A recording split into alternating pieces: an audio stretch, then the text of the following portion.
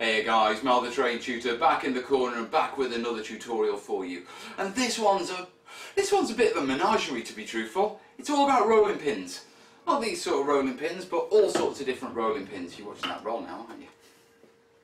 yeah, okay, this video sort of come about because I got sent some rolling pins, uh, there's an old technique I'd like to show you, and it all sort of come together, and actually that'll make a good fit. So what we're going to be looking at? Right, we're going to be looking at using rolling pins to texture, texture foam board, texture expanded polystyrene, texture green stuff, yeah, and texture our terrain. Yeah, uh, we've got three things to look at. Commercial rolling pins, scratch built home rolling pins and 3D rolling pins, uh, 3D printed rolling pins, homemade ones. Uh, duh, duh, duh. Let's do the commercial ones first. Come on over to the desk. Okay, commercial rolling pins, yeah? Uh, there's a company out there called Green Stuff World and they make these rolling pins. A little while ago, yeah, I ordered this sort of little hole punch off them, yeah? And it makes leaf shapes, yeah? So you put your card in, punch it, careful for both, and the leaves pop out the bottom. Yeah, and someone must have spotted my email address or something like that because I got an email from them saying, look, we'd like to send you some rolling pins, is that okay? And of course it is. I like showing stuff off as long as it's useful. Yeah, so they sent me these three rolling pins and what I've got here is, I've got their cobblestone and this looks really bleached out. I hope you guys can see these okay. But it's got a cobblestone texture on it. Okay, and these are basically engraved in. Yeah, we've got a wooden one. And then finally, we've got another sort of brick laid one, pavement.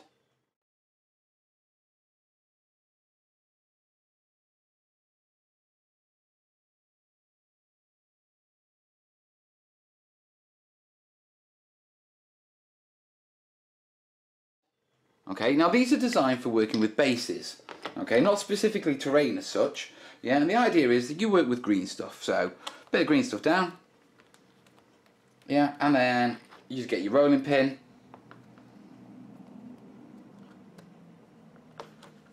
and hey presto, peel it up, knack of the texture as you do, yeah, obviously, yeah, but there you go. Yeah, and there's all sorts of textures. There's a pavement texture as well. Yeah, let me show you that.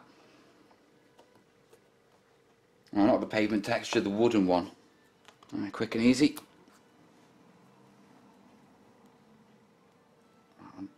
Focus. Yeah.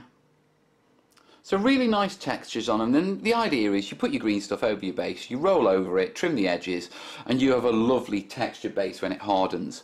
Now green stuff is a bit excessive for terrain building. I mean, I suppose you could do a couple of thin sheets, you know, and cut them out and place them inside your buildings if you really wanted to. Yeah, but, you know, it's a bit OTT unless you're doing diorama level work. But these can be used on other materials. So let me get some things. So moving on to terrain building. Uh, I've played around with various different materials with these rolling pins and what I've found is balsa wood, you can get the texture onto balsa wood, yeah, especially the wood texture, but the problem is that the moment you put any paint on it, the balsa wood swells up, it pushes out the texture and you lose it. I did try it with Das modelling putty and as long as the putty is nice and thick you can use it to get a good texture. The problem is if you smear the putty over something like foam board where it's quite thin, then some of these larger ones, they have a tendency to pull up and, and lift out what you call it, the milliput. Yeah, even when they're greased. So, mm, you know, a little bit too fiddly. I think in that case, you know, for terrain, the amount of time it would save, yeah, you lose sort of doing patchwork and that sort of stuff. That being said, I got brilliant results with high density foam. Okay, so start off with a cobblestone. Yeah, high density foam, this is just what? Uh, 10 mil thick. And what I'm going to do is I'm going to roll it across. And every little bit of a bit of a roll, I'm going to roll it back and then roll it forward again. The reason I'm rolling it back when I do it, yeah, is because if I go all the way one way and then come back, yeah, the chance of it being exactly on the same line, very slim. So rolling it backwards and forwards as I go up is the best way of keeping things lined up. There we go. And I'll bring it up. Look at that for a texture.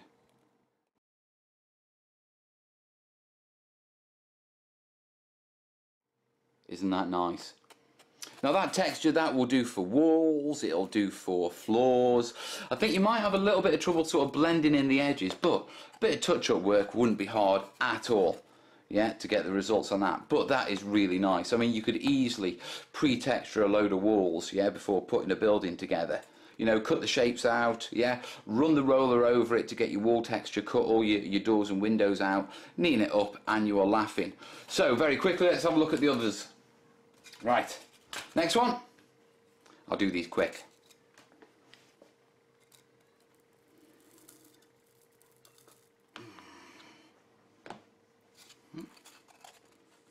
And there's the pavement one. Really, really nice.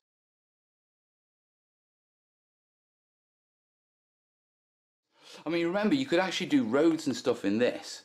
Yeah, just get some really thin, get some, say, 5 mil, okay, or even strip 5 mil out, out of foam board, take one layer off it. Do your cobble texture and then blend in with which like milliput or filler to the sides to give the embankment. So you get a lovely stone texture. Right, let's do the wood very quickly. See if I can, I haven't actually done the wood unexpanded, so I'm not sure. I only went for the cobblestones when I was playing around with it. Let's see what sort of results we get. Mmm. That's not bad at all.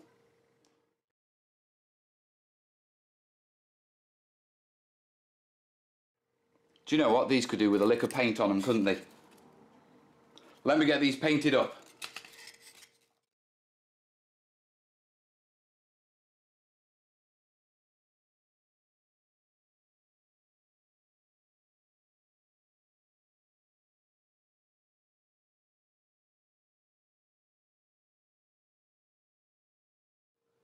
So there you have it guys. That's uh, commercial rolling pins. Yeah, that's the first one covered. Now, obviously, these are from Green Stuff World. Yeah, I haven't actually seen any other commercial rolling pins, to be truthful. Uh, they do a whole range of them of various different things.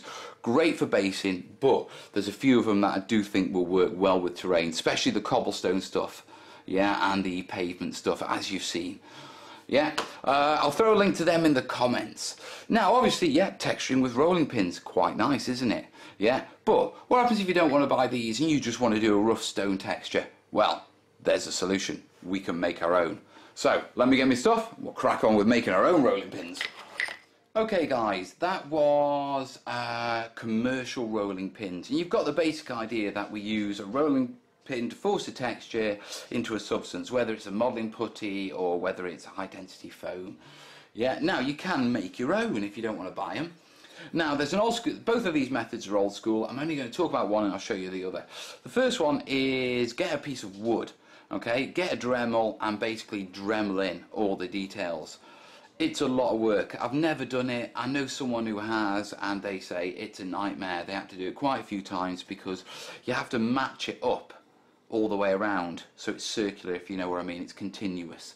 Yeah, which can be quite challenging unless you plan out meticulously at the start. That being said, putting the, the idea of Dremel and doing all that work, you know, it's there. You can do it if you want something special, but generally I'd avoid it. Yeah, like I say, you can get commercial ones that you can probably fit. Now, if you have to just a rough stone texture, yeah, then there's another method. And this is one of those old, old school ones, yeah. And the basic premise is that we use uh, tin foil, a simple tube, whether this could be anything, but anything round, you know, that we can use it and reasonably solid because we're going to be putting a bit of pressure on it.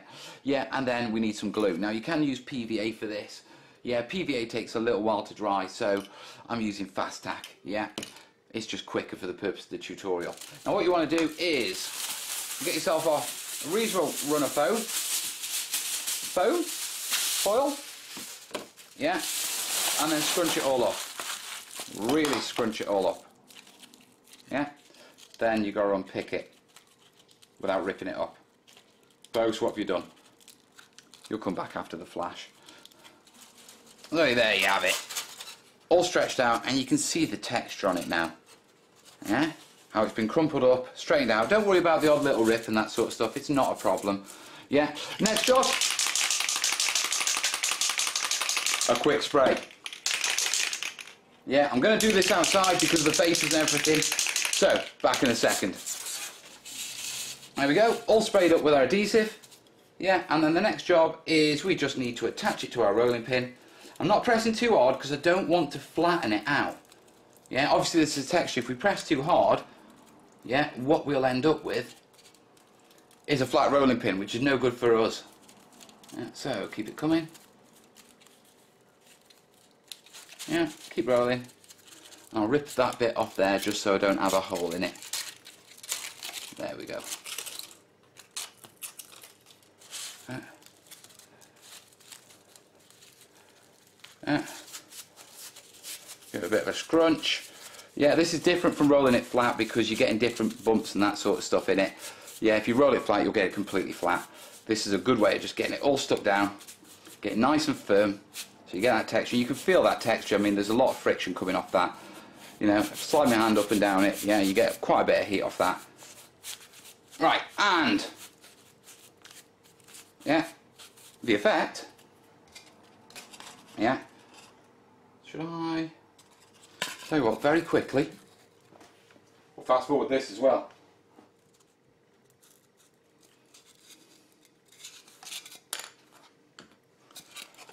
Bit rough and ready, but there you go. I put a couple of big bricks, yeah, and a couple of slabs there, just so you can see the different textures.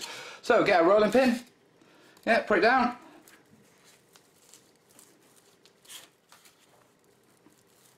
Took it too close to the edge. There you go. Oh, right. And if I bring it up, yeah, see the same texture in that? Yeah, lovely texture. Really subtle, but lovely texture. Yeah, uh, let's get this painted up, eh?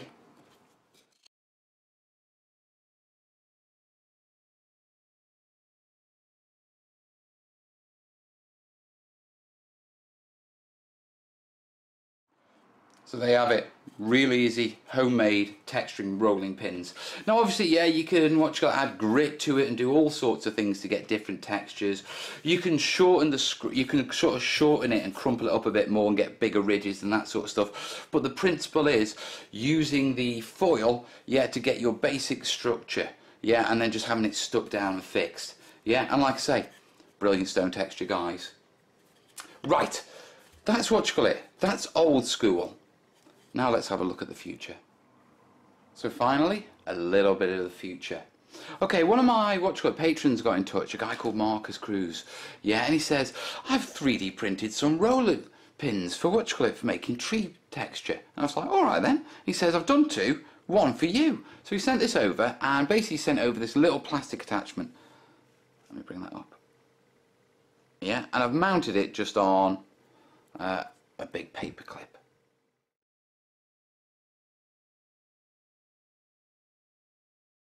Yeah. And it's basically a roll with a little texture in. Yeah. And what I've done is I've got a bit of uh, green stuff and I've just wedged it round this bit of a twig so I can show you. So if you come along yeah what you can do with this it's easier if I do it with it actually lying down to be truthful. So I'll put some force into it Not too hard, Bose.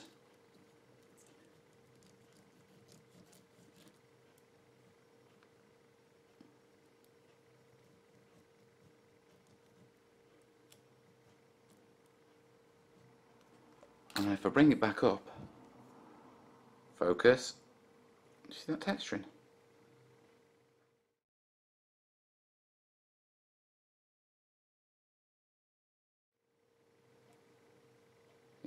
Really lovely, really lovely. And I really like this, okay? Because this is the future. Okay, 3D printing is becoming easier. Something small and tiny like this wouldn't be costly. Yeah, and the ease of putting it together, making a texturing rolling, rolling, what would this be, a rolling brush? Yeah, literally so easy. And the results are really nice really really nice yeah so dead simple dead easy yeah with some really, really good results. Yeah, so big shout out to Markus for sending that over. Like I say, can't really show you more than just rolling it, you know what I mean? But this is the future, guys. This is where it's going. You know, so it's going to be interesting. Give it a year or two when things like this start becoming more commercially available. I reckon we'll be seeing a lot more texturing rolling pins in the future. Right, that about covers rolling pins. Let's get set up. So guys, I think we've covered texturing with rolling pins now. I mean, we've covered the old school ways. Yeah, okay, we haven't engraved one yet, but that's a lot of work. And, know, yeah. We've covered the commercial present. Yeah, Green Stuff World. Lovely tools, lovely results as you saw. Yeah, so go check those guys out. And we've covered the future. Yeah, homemade rolling pins. Big thanks to Markus for that one. Yeah. I'm going to enjoy playing with this a lot more. Yeah, lovely texture. So that's it, that's texturing with rolling pins. Now you can texture with imprinting, you can do all sorts of different things, but hopefully this will have given you a few ideas that you can take away and maybe make a road, maybe make texturing your buildings that you're putting together. Just remember, you know, texturing before you put them together. One like rolling over a, a building, come on. Yeah, that's not going to go down well. So there you have it guys. Yeah, like I say, that about covers it for this vid and I hope you found it useful. As always guys, yeah, like, share and all that sort of stuff. If you've got any questions, any experience, yeah, in the comments. And as always, yeah, if you really do like these videos, they find them helpful. They save you a dollar, you just look forward to them. Yeah, consider the Patreon $1 pledge thingy. Yeah, really does help. It keeps me out of the warehouse, it keeps me warm and it keeps me making tutorials and videos for you guys. So, you know, if you like it, give us a bit, give us a bit of help, eh? Anyway, time to crack on. There is D-Day updates coming up. There's a snowboard from Salute coming up. And there are a lot more things coming up because I've got wire armature trees on the go. Oh yeah. Yeah, so I'll see you. I don't see you before, I'll see you Sunday night, 9 o'clock UK time. All the best, yeah? See you on the live show. ta -da.